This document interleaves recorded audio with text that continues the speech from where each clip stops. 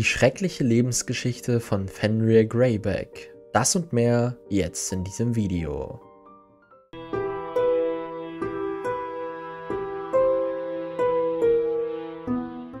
Im heutigen Video werden wir über den berüchtigten Werwolf Fenrir Greyback sprechen. Wir graben in seiner Vergangenheit und decken einige Dinge auf, die ihr vielleicht noch nicht wusstet. Ob du es glaubst oder nicht, vor langer Zeit war Fenrir Greyback ein ganz normaler Zauberer. Er hatte keine scharfen Zähne, lange gelbe Fingernägel oder Haare, die aus jedem Teil seines Körpers sprossen. Er verwandelte sich auch nicht in eine schreckliche, gefährliche magische Kreatur, wenn der Vollmond den Himmel erleuchtete. Es gibt zwar Spekulationen darüber, ob Greyback jemals ein Zauberer war oder nicht, aber Rowling hat bestätigt, dass nur Zauberer in der Lage sind, sich in Werwölfe zu verwandeln, nachdem sie von einem Artgenossen gebissen wurden und dass Muggel einfach sterben, wenn sie gebissen werden. Und das bestätigt offensichtlich die Tatsache, dass Greyback tatsächlich ein Zauberer war, bevor er zum Werwolf wurde. Auch wenn die Informationen über ihn spärlich sind, deuten die verfügbaren Beweise darauf hin, dass Greyback vielleicht sogar einmal ein Schüler in Hogwarts war. Die Tatsache würde seine magischen Fähigkeiten, seine Verbindungen zu den Todessern und seinen Hass auf normale Zauberer erklären. Doch an einem schicksalshaften Tag, vermutlich nach Abschluss seiner Zaubererausbildung, wurde der Zauberer Greyback einer Begegnung mit einem Werwolf Werwolf ausgesetzt, bei der er leider gebissen wurde. In diesem Moment wurde Fenrir von einem namenlosen Werwolf mit Lykanthropie infiziert, eine magische Krankheit, die Hexen und Zauberer in Werwölfe verwandelt. Jemand, der mit Lykanthropie infiziert ist, wird fortan als Lykanthrop bezeichnet. Es gibt zwei Möglichkeiten, ein Lykanthrop zu werden, aber unabhängig davon, wie man sich infiziert, wird es als unheilbarer Fluch betrachtet, der die Existenz des Opfers völlig verändert. Die erste Art, sich mit Lykanthropie zu infizieren, ist, wenn man als Zauberer von einem Werwolf gebissen wird, wobei der Biss unter bestimmten Umständen tödlich sein kann. Außerdem muss man von einem Werwolf in seiner Wolfsgestalt und zwar zur Zeit des Vollmondes gebissen werden. Der Speichel des Werwolfs muss sich mit dem Blut des Opfers vermischen. Für den zweiten Weg zu dem Fluch wird kein Werwolf benötigt, jedenfalls nicht direkt. Es ist die Vererbung der Krankheit. Das ist eine sehr unangenehme Vorstellung. Es ist sehr schwer als Werwolf ein normales Leben zu führen, wie wir bestens an dem Beispiel von Remus Lupin erkennen können. Viele Werwölfe leben sehr zurückgezogen, denn wenn man Menschen erlaubt, sich einem zu nähern, bringt man deren Leben in Gefahr. Sobald das Opfer mit Lykanthropie infiziert ist, verwandelt es sich jeden Monat bei Vollmond von einem Menschen in einem Werwolf. Die Verwandlung selbst zum Werwolf ist als äußerst schmerzhaft beschrieben worden und nach der Verwandlung verliert der betreffende Zauberer vollständig sein Gefühl für Recht und Unrecht. Ab diesem Zeitpunkt der Verwandlung ist man sich seiner Handlungen nicht mehr bewusst. Aus diesen Gründen entwickelte das Zaubereiministerium 1637 den Verhaltenskodex für Werwölfe, den die Werwölfe alle unterschreiben mussten, indem sie versprachen, niemanden anzugreifen, sondern sich jeden Monat sicher zu verschließen. Aber es überrascht nicht, dass niemand den Kodex unterschrieb, da niemand bereit war, ins Ministerium zu gehen und zuzugeben, ein Werwolf zu sein, denn niemand wollte dafür verurteilt werden. Der Verhaltenskodex für Werwölfe mag eine gute Absicht gehabt haben, aber es verlangte von einem Werwolf auch, dass er seinen Status offenbart und die Konsequenzen dafür zu tragen hat. Von dem Moment an, in dem man seinen Namen registriert, würde man sofort seine Rechte und seinen normalen Status verlieren. Werwölfe wurden wirklich zwischen den Abteilungen Bestien und der Abteilung für die Regulierung und Kontrolle magischer Kreaturen geschoben, weil sich niemand entscheiden konnte, ob ein Werwolf als Mensch oder als Bestie eingestuft werden sollte. Es überrascht also wirklich nicht, dass Fenrir Greyback, als er gebissen wurde, nicht die Absicht hatte, seinen Werwolf-Status beim Ministerium zu registrieren. Fenrir verabscheute es, sich jeden Monat in den Werwolf zu verwandeln und hatte lange Zeit das Gefühl, als würde er ein verfluchtes Leben führen. Aber mit der Zeit begann sich Fenrirs Sichtweise auf seinen Zustand zu ändern, denn eines Tages erkannte er, dass sein Zustand ein Geschenk und keineswegs ein Fluch war. Der Mangel an Verständnis und Einfühlungsvermögen der Außenwelt für seinen Zustand trieb ihn in die Wut, und genau diese Wut nutzte er als Treibstoff, um sich an der Welt zu rächen, die ihn zurückgewiesen hatte. Anstatt sich mit einem Leben als Ausgestoßener abzufinden, nahm er seinen Zustand an und machte es sich zum Ziel, genug Werwölfe zu schaffen, um die Zaubererwelt zu beherrschen und zu übernehmen. Sein Ziel war einfach, so viele Menschen wie möglich mit Lykanthropie zu infizieren. Henry Greyback ist vielleicht der wildeste Werwolf, der heute noch lebt oder lebte, aber dazu kommen wir später noch. Er sieht seine Lebensaufgabe darin, so viele Menschen wie möglich zu beißen und zu infizieren. Er will genug Werwölfe erschaffen, um die Zauberer zu besiegen, die versuchten, ihn und seine Rasse zu unterdrücken. Voldemort hat ihm Beute als Gegenleistung für seine Dienste versprochen. Es ist auch erwähnenswert, dass was Werwölfe angeht, Greyback besonders grausam war. Während die meisten Werwölfe nur unabsichtlich Menschen während ihrer Verwandlung beißen, ging Greyback sogar so weit, sie in seiner menschlichen Form zu beißen. Und das im vollen Bewusstsein über sein Verhalten und seine Brutalität. Sein blanker Hass auf die Menschheit bedeutete, dass niemand, weder Mann, Frau noch Kind, sicher war. Greyback hatte sogar eine Vorliebe dafür, Kinder zu beißen. Weil Greyback so viele Jahre lang so nah an der Grenze zwischen Mensch und Werwolf entlang lief, begann er schließlich selbst in seiner menschlichen Gestalt einem Werwolf zu ähneln. Greybacks Einstellung und seine Hingabe für die Sache der Werwölfe veranlassten ihn schließlich dazu, ein Anführer in der Werwolfsgemeinschaft zu werden. In den 1960er Jahren richtete er und sein Rudel Werwölfe in ganz Großbritannien sehr viel Unheil an. Doch obwohl er seine eigene Revolution anführte, wurde Fenrir Greyback zu diesem Zeitpunkt von den Todessern rekrutiert, die auf der Suche nach allen möglichen dunklen Kreaturen waren, um das Ministerium zu stürzen.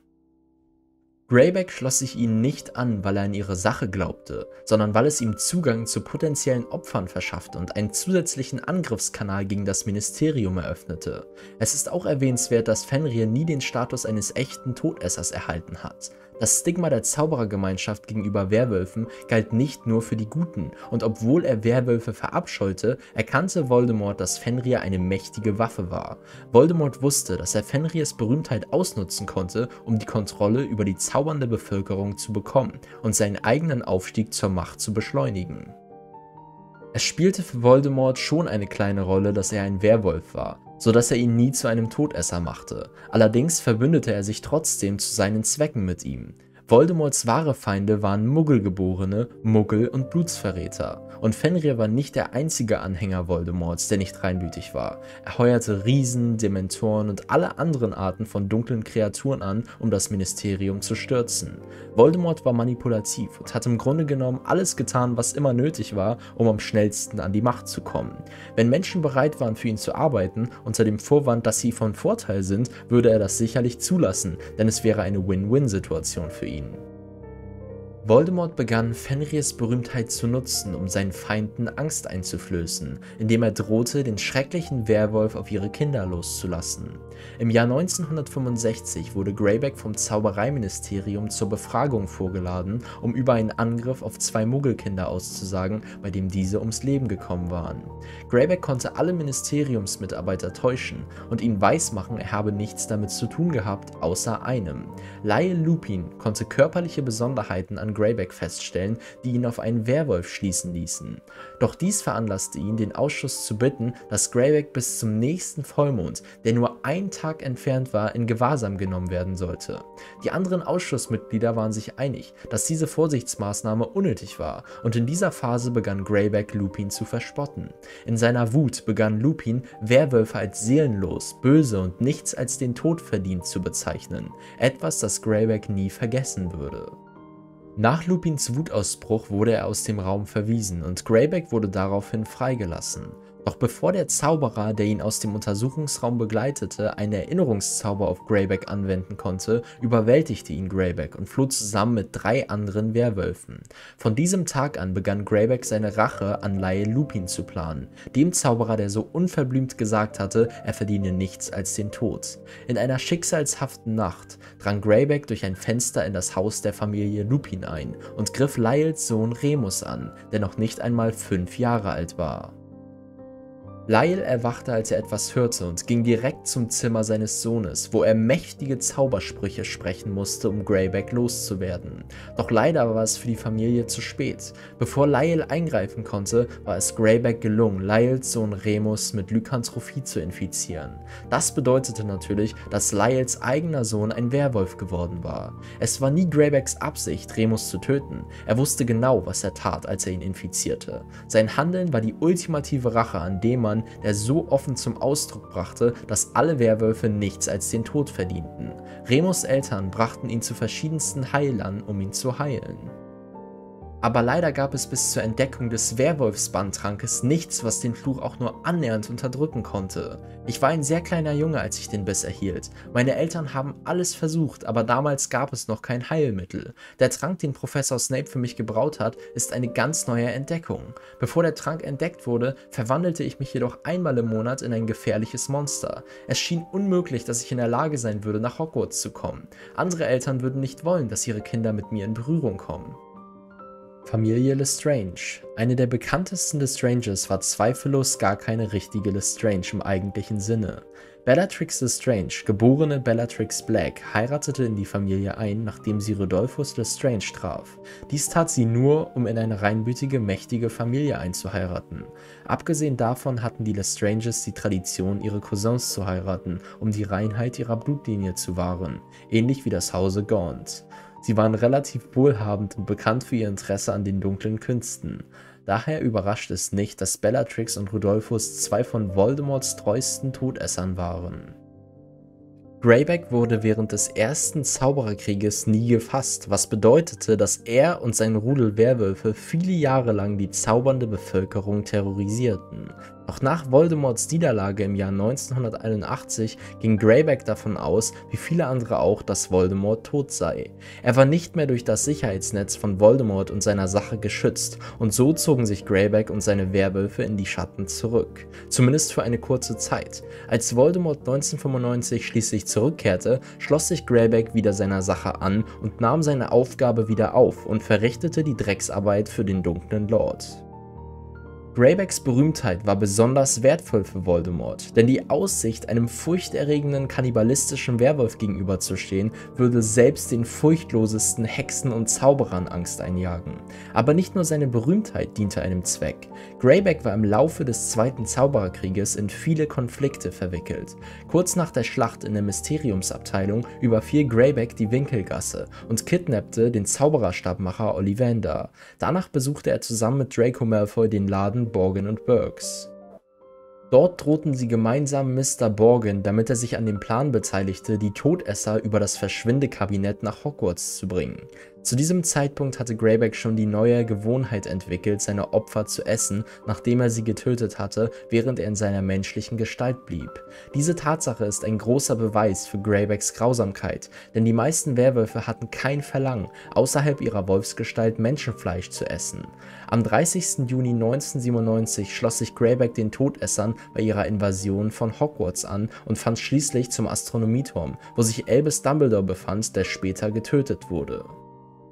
Bist du das, Fenrir? fragte Dumbledore. Das stimmt, räusperte sich Greyback. Freust du dich, mich zu sehen, Dumbledore? Nein, ich kann nicht sagen, dass ich das tue. Fenrir Greyback grinste und zeigte seine spitzen Zähne. Blut rann an seinem Kinn herunter und er leckte sich langsam über die Lippen. Nach Dumbledores Tod durch Severus Snape kam es zu einer Schlacht am Astronomieturm.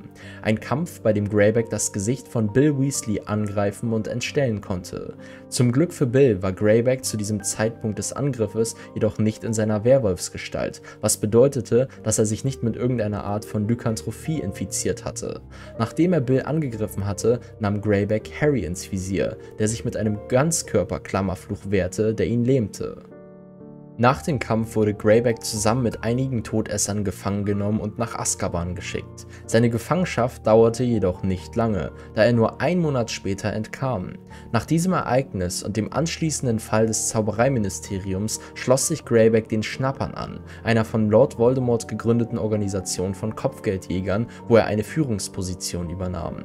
Zusammen mit den anderen Schnappern durchkämmte Greyback das Land auf der Suche nach flüchtigen Muggelgeborenen, Blutsverrätern und anderen Gegnern von Lord Voldemorts Sache. Während seiner Tätigkeit als Schnapper war Greyback erstes erfolgreiches Kopfgeld das Auffinden von Dirk Cresswell, Ted Tongs, Dean Thomas und den Kobolden Griphook und Gornuk. Dean und Griphook wurden gefangen genommen und inhaftiert, während Dirk, Ted und Gornuk ermordet wurden. Danach fanden Greyback und seine Bande jedoch eine viel wertvollere Truppe, die aus niemand Geringerem als Ronald Weasley, Hermine Granger und Harry Potter bestand. Sie vermuteten, dass sie tatsächlich Harry Potter gefangen hatten, aber sie waren nicht in der Lage, das zu bestätigen. Dies lag daran, dass kurz bevor sie von den Schnappern gefangen genommen wurden, es Hermine gelang, Harry mit einem Brandzauber zu treffen, der sein Gesicht verformte. Dadurch wurde Harry fast unkenntlich gemacht. Greyback und die Schnapper brachten Harry und die Bande nach Malfoy Manor, in der Erwartung, dass Lucius, Narcissa, Bellatrix oder Draco in der Lage sein würden, Harry zu identifizieren und sie zu belohnen.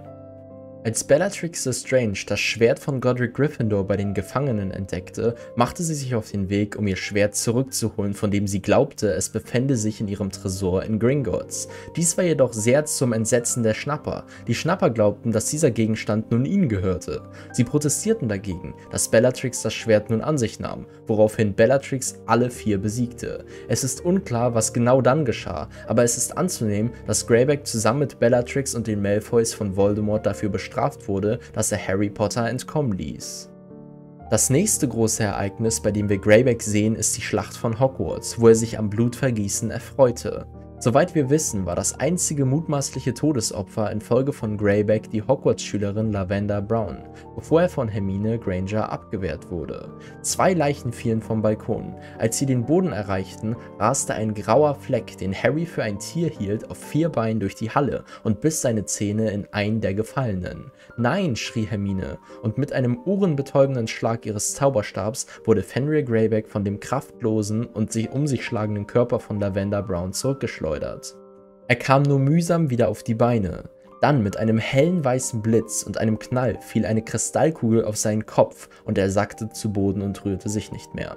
Es ist ein wenig schwierig zu interpretieren, was genau mit Fenrir danach geschah, da sein Schicksal vom Buch zum Film unterschiedlich interpretiert werden könnte. Im Film wird Fenrir von Hermines Betäubungszauber getroffen und in die darunterliegende Schlucht geschleudert, vermutlich in den Tod. Die Szene aus dem Film steht jedoch im Widerspruch zum Buch, denn im Buch tauchte Greyback später im Kampf wieder auf. Hermine hat ihn zwar mit einem Sprengfluch getroffen, aber das hat ihn nicht getötet und ihn wahrscheinlich auch nicht so weit fliegen lassen, wie es im Film gezeigt wird. Im Buch wird gesagt, dass Ron und Neville Greyback zu Fall bringen, aber was bedeutet zu Fall bringen wirklich? Haben Ron und Neville einen Tötungsfluch ausgesprochen? Was haben sie mit ihm gemacht? Meiner Meinung nach hätten Ron und Neville ihn nicht getötet, sondern nur betäubt, was sein Schicksal ziemlich offen lässt. Meiner Meinung nach gibt es zwei Möglichkeiten, was mit ihm passiert sein könnte. Die erste Möglichkeit ist, dass Greyback betäubt wurde und danach nach Azkaban geschickt wurde. Und in Azkaban würde Greyback den Rest seines Lebens verbringen. Die zweite Möglichkeit ist natürlich, dass Greyback entkommen ist. Er ist ein sehr zäher Wolf, der sich die meiste Zeit seines Lebens erfolgreich einer Verhaftung entziehen konnte. Er war sehr widerstandsfähig und hatte viel mehr Prügel einstecken können als ein normaler Zauberer. Nach der Schlacht von Hogwarts denke ich, dass er sich einfach davonschlich und sich mit anderen Werwölfen zusammenschloss. Sie zogen sich zurück und warteten ab, bis sie schließlich einen erneuten Angriff auf die Zaubererwelt durchziehen können.